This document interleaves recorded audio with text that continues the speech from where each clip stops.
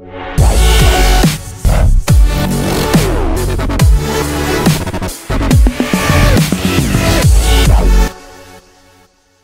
guys, welcome back. Today we're going to have a look at the TBS Tiny Whoop Charger, specifically designed for the HV batteries you use in your Tiny Whoop.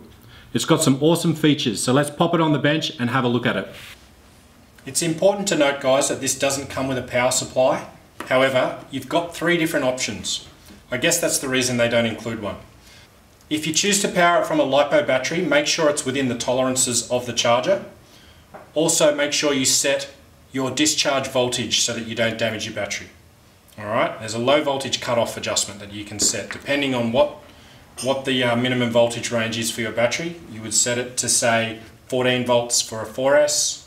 The real, the really important one to recognize here guys is that if you do choose to power it from USB that you don't exceed the capabilities of a USB port, especially if you're choosing to charge it say off your PC's USB port.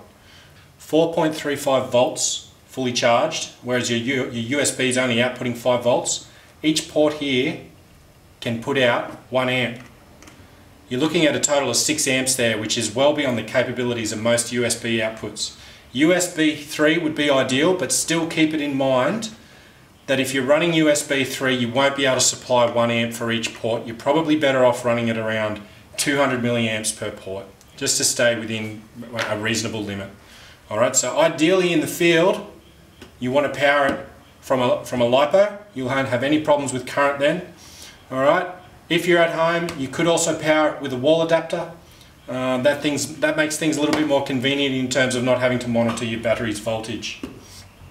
Alright, so we might plug it in here and we'll show you a couple of the features. First thing that's going to happen when you plug in, you're going to see the, the cell voltages. Alright, this battery is a 6 cell, it's at 25.1 volts you can toggle through and select how many amps you want per port. This is important guys.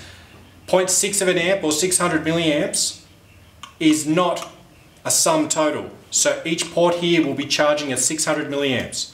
It's adjustable in 100 milliamp steps all the way down to 100 milliamps or 1 amp per port. If you want to stay within 5C uh, charge rates of these little guys, 1 amp is right on the window for your 200 milliamp hour battery. Your 255s are a little bit closer to say uh, 4C charge voltages. I tend to sort of operate around 500 milliamps, uh, charging it around 2C for these batteries. Uh, they're a small battery so it's not a really big issue. Alright, so one of the other things you can change is your low voltage cutoff. If you know, if you want to cut off your, uh, your LiPo's input at say 3.5 per cell, you can do the calculations to figure out exactly where you want it to drop. You can see that this one here has recognized it's a six cell battery and it will drop anywhere down to, to around the 18 volt mark. All right. Set that before you start charging to make sure you don't damage your input battery. It's as then as simple as plugging your HV only battery in. It will then give you a reading of that port. You can see this battery is nearly already full at 4.25. The light will turn green when it's ready to go. And that's it guys, it's as simple as that. They provide these cables with you in case you have different connections, alright? But for most of us running the, the standard Tiny Whoop batteries, it should just plug straight in. Thanks for watching guys, we hope you got your FPV hit. Please check the links below, join our Facebook page or join us on Discord